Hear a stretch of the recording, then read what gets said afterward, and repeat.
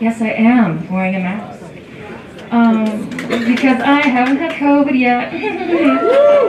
um, I just want the first time I get it to be from somebody special, you know? I'm saving myself. I want to look deep and long into their eyes as they projectile cough right into my mouth. So hot.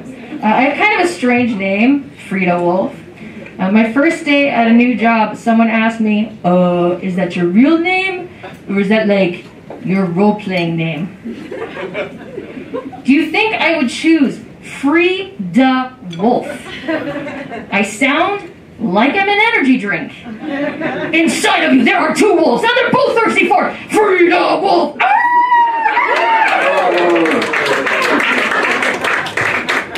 Nope. Uh, in my case, my last name is Wolff to let everyone know that my dad was Jewish and that I am freakishly hairy. Uh, I think the Nazis are going to be really confused about what to do with me because, uh, like I said, my dad was Jewish, so I look Jewish.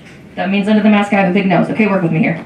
And uh, my mom was Mexican, so I speak Spanish. So, are the Nazis going to round me up and kill me, or have me clean Tucker Carlson's house? I don't know. I guess we'll find out in 2024. Really fun time to be alive right now. Um, I know I'm a little overdressed for this thing, looking like Liza Minnelli up here. Um, but you know? I don't care. I don't care. I'm having a great time getting dressed up right now. I stopped wearing a bra. Because I had a mastectomy for breast cancer.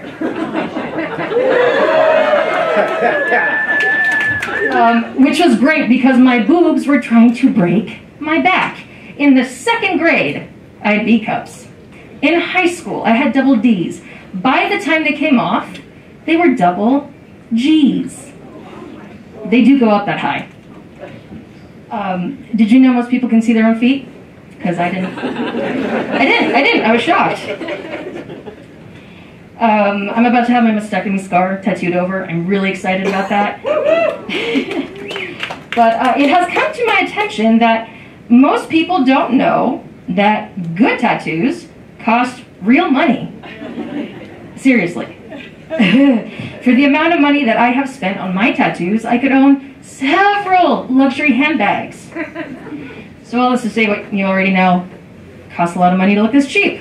Uh, tattoo artist asked me how old I was.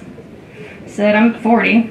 Goes, wow, that is crazy because uh, women usually stop getting tattooed once they have kids. I said, yeah, I don't have kids.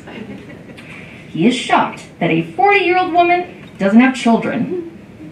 Of course, I don't have kids. I am blowing all of my money on getting tattoos. Because, see, when I choose to make mistakes, I get mistakes that I can get lasered off. But once you have a kid, it's not like you can cover it up with another kid that looks better or was designed by more talented sperm.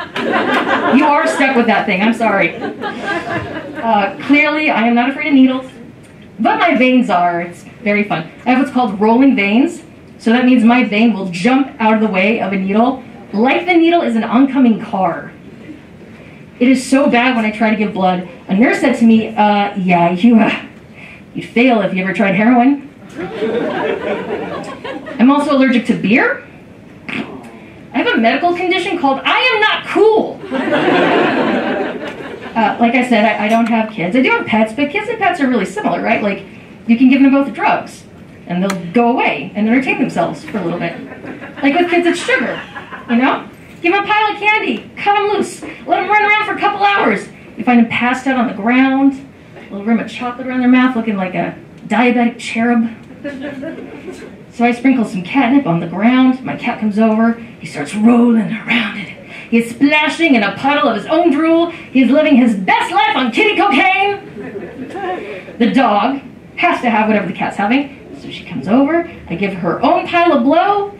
I finally get some peace and quiet. And my animals are reenacting Scarface on the kitchen floor.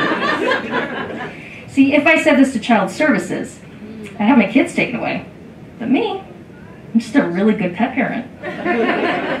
uh, I don't regret not having kids. I do regret being what I call a fail lesbian. That means I'm queer. in case you're blind and can't see the stage, I guess. Because I think being gay takes way too much work.